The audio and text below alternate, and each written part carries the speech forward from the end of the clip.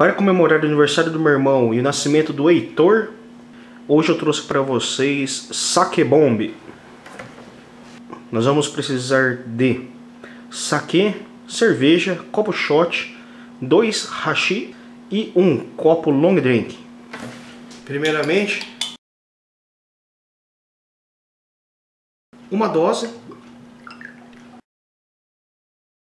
Aí você posiciona o copo entre os rachis.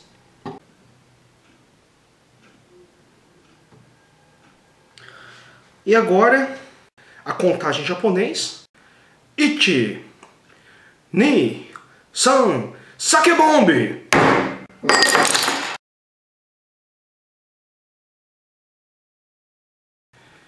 Cheers!